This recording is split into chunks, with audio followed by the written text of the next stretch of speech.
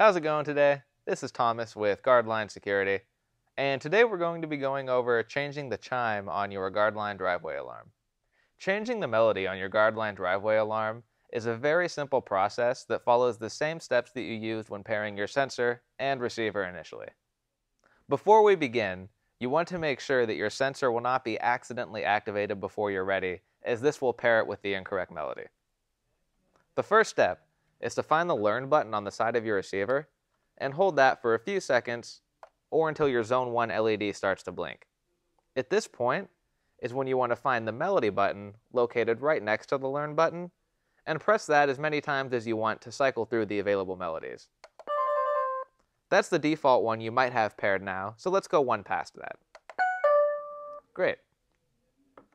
Now to pair that melody with this sensor, all you have to do is activate your sensor just as you did when pairing initially.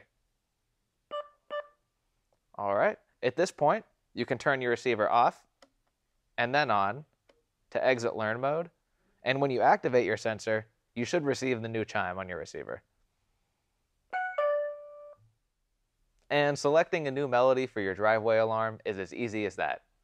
As always, thanks for watching, and if you have any questions or comments, feel free to reach out and contact us at guardlinesecurity.com.